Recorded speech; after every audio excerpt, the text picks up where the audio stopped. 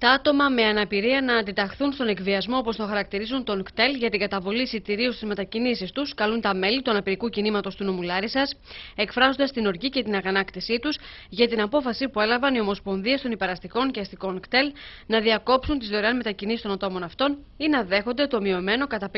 50% εισιτήριο που δικαιούνται τα άτομα με αναπηρία. Όπως υπογραμμίζει σε δηλώσεις του ο αντιπρόεδρος της Περιφερειακής Ομοσπονδίας Ατόμων με Αναπηρία Θεσσαλίας, κ. Στέφανος Πάικος, τα κτέλ προχωρούν στην ενέργεια αυτή εξαιτίας της μη εξόφλησης των οφειλόμενων ποσών από το Υπουργείο Υγείας και Κοινωνικής Αλληλεγγύης για τις υπηρεσίες που προσφέρονται. Ωστόσο, δεν μπορεί τονίζει ο κ. Πάικος, οι πολίτες που αντιμετωπίζουν σοβαρά προβλήματα υγείας να χρησιμοποιούνται ως μέτρο πίεσης για να διευθετήσουν τις εκκρεμότητές τους οι φορείς με το κράτος. Τα άτομα με αναπηρία δεν μπορούν να είναι όμοιροι αυτής της κατάστασης και να επομίζονται επιπλέον έξοδα τη στιγμή που η οικονομική κρίση που ταλανίζει τη χώρα συρρυκνώνει ακόμη περισσότερο τα πενιχρά εισοδήματά τους. Θεωρούμε ε, απαράδεκτη αυτή την ενέργεια των ε, ομοσπονδιών των ΚΤΕΛ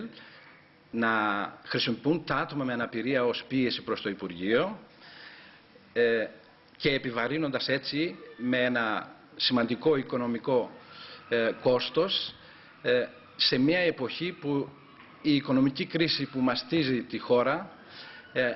μαστίζει περισσότερο από όλες τις κοινωνικές ομάδες τα άτομα με αναπηρία.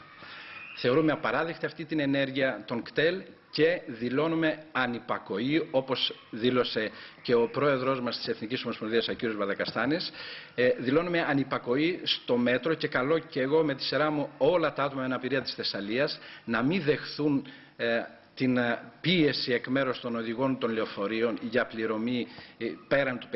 50% ή για ελευθέρα στα αστικά λεωφορεία. Ο κύριος Πάικος ε, καλεί την πολιτεία και την κυβέρνηση να δώσουν ένα τέλος σε αυτό το φαύλο κύκλο που κάθε χρόνο επιβαρύνει τα άτομα με αναπηρία, μία από τις πλέον ευπαθείς ομάδες του πληθυσμού, καθώς επίσης και τα χτέλη της χώρας να επιδείξουν αίσθημα κοινωνικής ευθύνης και να πάρουν πίσω αυτή την ανάλγητη απόφαση που καταδικάζει τα άτομα με αναπηρία σε καθεστώς ομοιρίας.